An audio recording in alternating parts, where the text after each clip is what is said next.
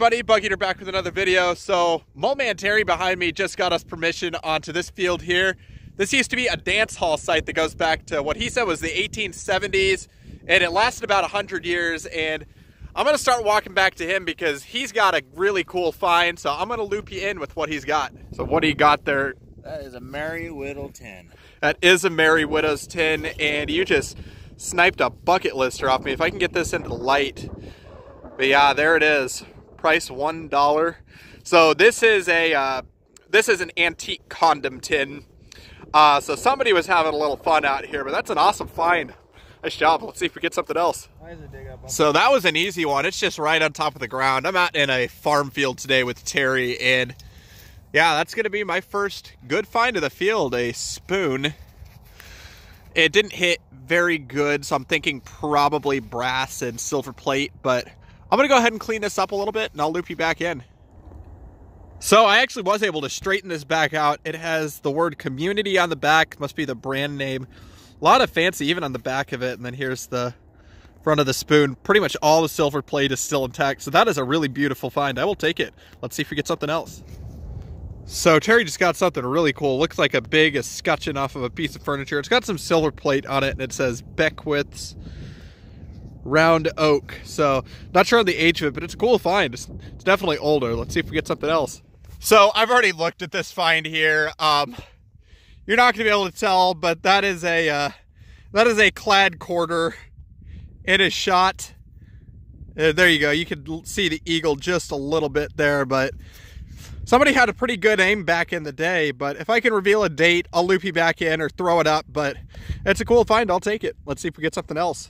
Well, this one was not deep at all, and right over there, green penny. So hopefully a wheat. Last one, last couple were memorials.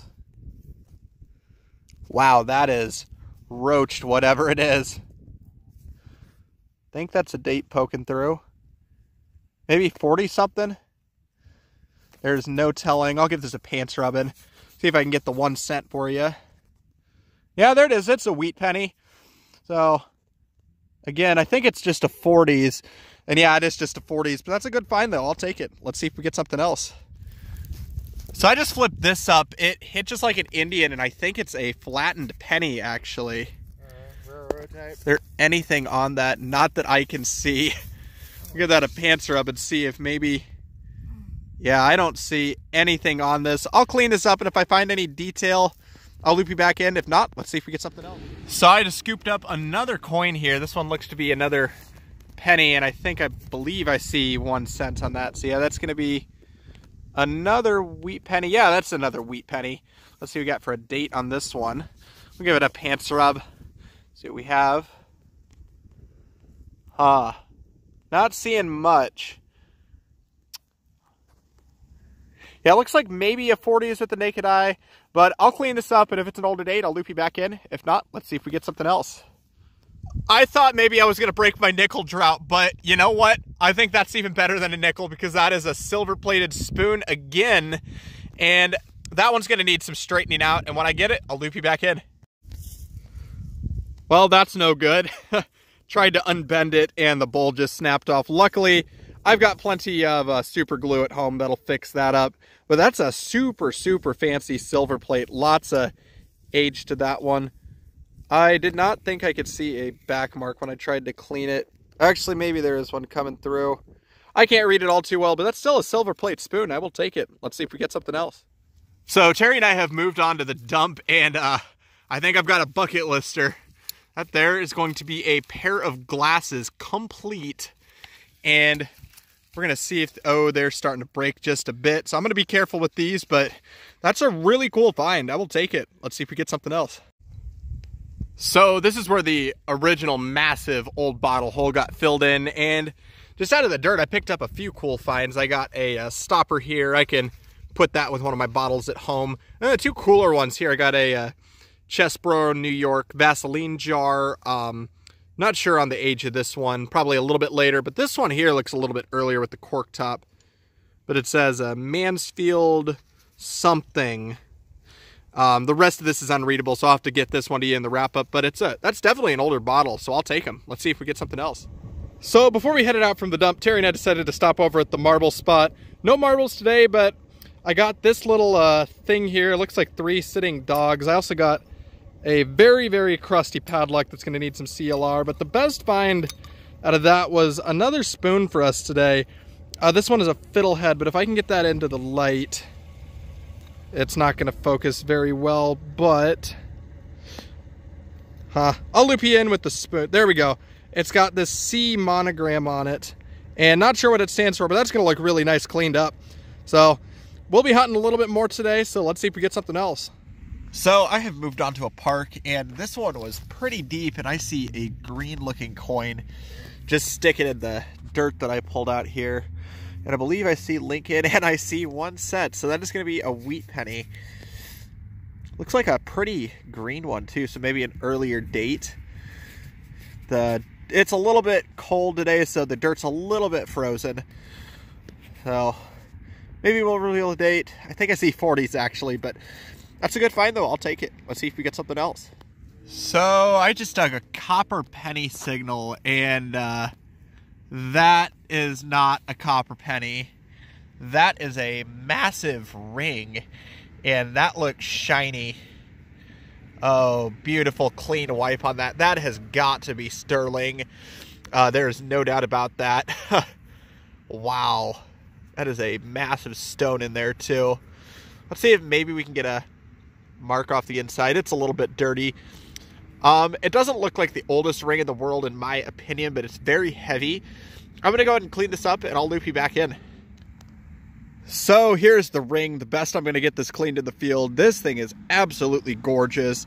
It is most definitely a modern ring. The way I can tell that it is modern is that the back mark inside, if I can get that to focus for you, huh, does not want to focus for me. But that is 925, uh, the marker on the inside. Let's try this one last time. There we go. You can sort of see it, 925. So the older ones would either be unmarked or marked sterling. So again, not a very old ring, but still a really cool find. I will take silver. Let's see if we get something else. So I just pulled up my first coin of the churchyard. I can already see it's a wheat penny and it looks like it's got a green patina to it. So hopefully, hopefully this will be an older one. I have kind of struggled on the older wheats lately and it is very dirty and it has a date of 1930 something, I think. See if we can get that. Maybe a 37. Yeah, I think that is a 37. If it's something else, I will clean it up and loop you back in. And let's see if we get something else. So I've got another pretty green looking penny down in the hole here. And that one is also a wheat. So that is number two for the churchyard now. And it's got an older look to it again. So maybe, maybe this will be a little bit older. Oh, it's definitely older. that one there, 1920 something. I think a 20 or 29 maybe. And that is a nice green patina on that one, so I will take it. Let's see if we get something else. So I just flipped out another something interesting. It looks like some sort of thing with a stone in it. Oh, I was thinking maybe a cufflink, but maybe this is a button of some sort. Not entirely sure. It's got some gilt on it, an onyx stone, and then what appears to be some sort of shank on the back. So, yeah, definitely some sort of button with a uh, black stone or whatever that is. But that's a really cool find. I'll take it. Let's see if we get something else. Hey everybody, Bugeater back with another wrap up from several short hunts across a bunch of different sites. So I want to start off by saying congrats to Terry on all his awesome finds, as well as a huge shout out to Jim for finding the church site that, although it was a bust, it had a lot of great potential and it was a lot of fun hunting it.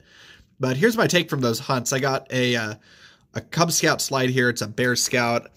Um, I got this little clip here. Um, it's got a cross on it. I found that one at the church. Um, I got this zipper that says Gripper Zipper on it. It's a uh, vintage jean zipper from like the 50s or so.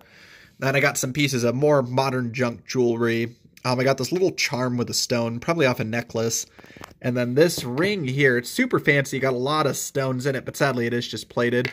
I also got this here, which is an interesting one because I'm not sure entirely if it's precious. Um, it might be silver, might not be, but it looks like it's a, uh, a piece of a watch band. I got three pieces of silver where I got a couple of mangled spoons here that are silver plated. And then this one that Terry found and was generous enough to give to me, there's a C monogram that's going to be a little tough to see. without just the right lighting. And then onto some finds from the dump. I got a uh, a Reese padlock. Now this thing came out super crusty, but CLR cleaned this thing right up. I also got this little uh, ceramic statuette with what I believe are three uh, little dogs. Maybe they're monkeys. No telling there. I also got a huge bucket lister. This pair of Art Deco glasses. Uh, they got a little bit of fancy around the outsides, and that was really cool to see those come out completely intact. Um, I got a little uh, button with like some sort of black stone in it. Got silver plating on it. A shot quarter dated 1995, the year I was born. Um, I got a flattened penny. Not sure if this one was a memorial or a, a wheat. There's just no uh, telling. And I found both both memorials and wheats at the spot. Got a Bazinga 59 memorial, and then a bunch of wheat pennies. I got a 48S, a 47S, a 44D in pretty crusty condition. The two oldest are a 37 and a 20D. And then my big silver for this hunt, a massive men's ring with a lot of stones in it. Uh, it's got kind of an Art Deco look to it, but the 925 back mark on the inside tells me that it's probably a little more modern. But hey, silver is silver, even if it is modern. But that was my hunt, guys. Thanks again for coming along. As always, please like, comment, and subscribe. And this is Bugeater signing out.